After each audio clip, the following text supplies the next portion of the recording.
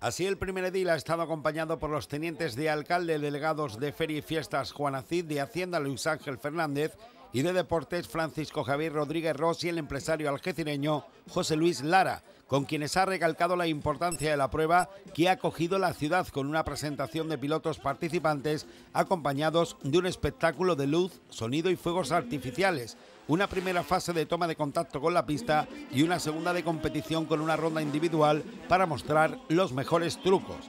Así han participado los mejores pilotos nacionales como Michael Melero, campeón del mundo de freestyle motocross 2014 y 2015, Dani Torres, campeón X Fighters, Pedro Moreno, campeón de España 2013, 2014 y 2015, Abraham Parra, tercer clasificado en el Campeonato de España 2015 y Miguel Espadas, resultando el primero el triunfador de la prueba.